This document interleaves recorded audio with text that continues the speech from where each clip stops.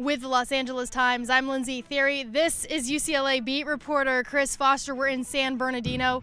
The Bruins wrapping up day four of training camp. We're going to go through a progress report, not just through four days, but Chris, really four years of the Jim Mora era. It was about oh, more than 100 degrees here in San Bernardino, but it looks a lot different than training camp four years ago.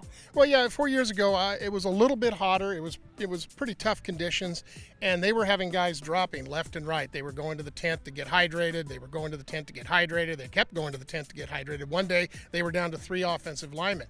You didn't see anybody leave the field today to go go get hydrated, Mm-mm. and that is just an indication of how much better a condition this team is in. With Sal Alosi as their strength coach, is that they're able to come out and handle these conditions. So I think that's one of the big improvements in the four years here.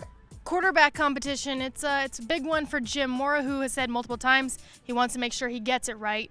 Josh Rosen and Jerry Neuheisel, obviously the front runners in that competition. Who's your pick right now after four days? Well, you, you say competition like there's a competition. Wait, there's not a competition? I think we're pretty much are heading towards a freshman starting. I have nobody said that to me. I don't want to get a coach in trouble, but the indications are from what I see is that Josh Rosen will be our starting quarterback on September 5th. Now, a lot can happen between now and then, but he certainly looks like he's tracking to do that.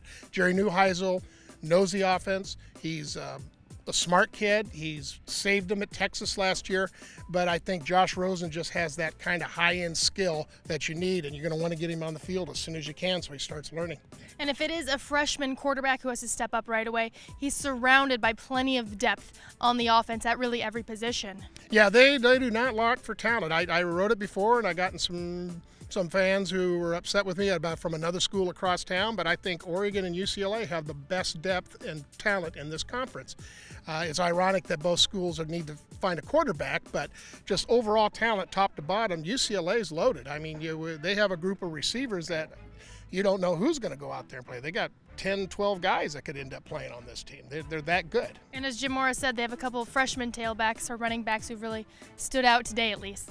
Yeah, the, the freshmen have looked good. Um, I, I, think uh, Soso Jamabo is mm-hmm. going to find a role somewhere. I think Bolu, and I can't pronounce his last name very well, but he's going to be a strong back in the future.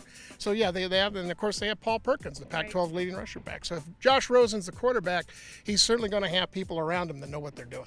That's all fun and games on offense. Over on defense, Kenny Clark and Eddie Vanderdoes have really been anchoring it for them and continue to do so. Well, you're talking about guys who've played together for two years at nose tackle and the defensive end slash defensive tackle. They know each other. They're comfortable with each other. They're tight friends, and those two guys just give you a rock to build your defense around. Linebackers can go and create havoc because of what Eddie and Kenny do up front, occupying those guys on the line. So I mean, th- those you have two guys like that, you got a good start on your defense, and they have a lot more besides those guys. So the Bruins are through four days of training camp. They have a long way to go on day five. They'll put on pads. Keep it on the Los Angeles Times for all the latest on the Bruins. With Chris Foster, I'm Lindsey Thiry.